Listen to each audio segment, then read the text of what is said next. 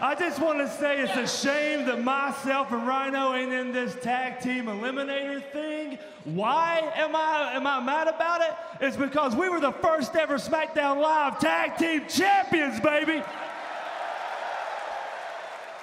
So I'm gonna get straight to the point. I've got kids. I'm not talking about one or two. I'm talking about a whole slew of them, baby and I need this job. So if there's any tag team in the back that are man enough to come out here and take out me and Rhyno, please come on down, baby.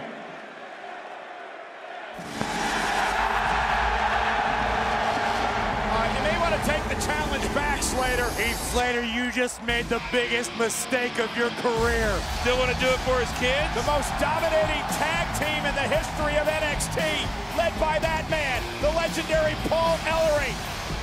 It's Akam and Rezar. Your opponents, accompanied by Paul Ellering, at a combined weight of 615 pounds, Akam and Rezar, the authors of Pain. Rezar on the right, on the left, there he is, Akam Paul Ellering, of course, one of the great managers in sports entertainment history. Once managed the Legion of Doom, the Road Warriors, as the authors of pain arrive here on Monday Night Raw.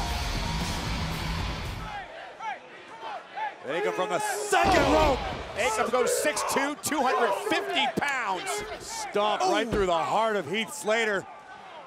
Rezar's even bigger, 6'4", 330. And. Rezar dropping right onto the off the apron to the floor. Akam and Rezar just imposing their way. Here we go. And look at this. Oh. There it is. The, the last, last, chapter. chapter. Stick with me, Cole. Yeah, you, your bromance is going along nicely tonight, boys. The authors of pain. Authors of pain. Coach, feel free to add anything of substance at any time now. Never mind, let me talk about the authors of pain and how they're about to take over Monday Night Raw's tag team division. Well, what's this?